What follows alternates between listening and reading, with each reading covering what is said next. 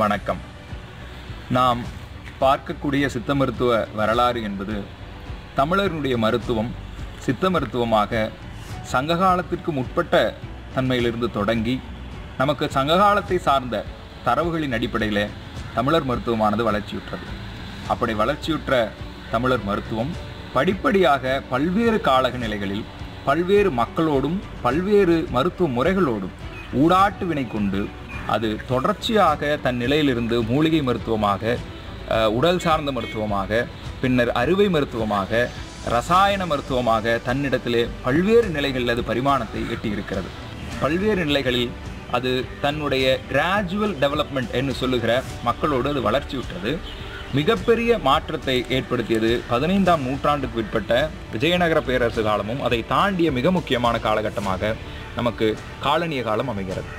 காலனிய காலத்தில் காலனிய காலத்தினுடைய தொடக்கத்தில் இந்த மருத்துவம் அல்லது காலனிய காலம் முழுவதும் மக்கள் பயன்பாட்டிற்கான மருத்துவமாக இருந்த போதிலும் கூட அரசினுடைய சூழல்களில் அரசினுடைய தன்மைகளில் இந்த மருத்துவம் ஒதுக்கப்பட்டிருக்கிறது. இன்று நாம் பேசுகிற சித்த மருத்துவம் என்பதும் இன்று நாம் படித்து கொண்டிருக்கிற நிறுவனமயமாக்கப்பட்ட சித்த மருத்துவம் என்பதும் தோன்றியது காலனிய காலகட்டத்தினுடைய காலத்தில் ஏற்பட்டது என்பதை நாம் மறுத்துவிட மறந்துவிட இயலாது.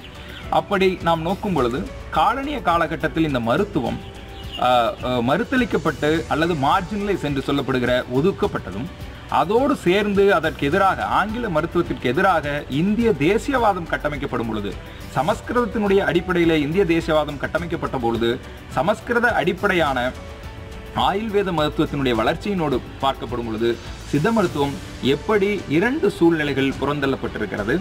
அப்படி புறந்தள்ளப்பட்ட சித்த மருத்துவம் எப்படி தன்னிலையில் இன்று நிறுவனமயமாக்கப்பட்ட நிலைகளில் வளர்ச்சியுற்றது என்பவற்றை மிக முக்கியமாக வரலாற்றின் கொண்டு நாம் பார்க்க வேண்டிய அவசியம் இருக்கிறது.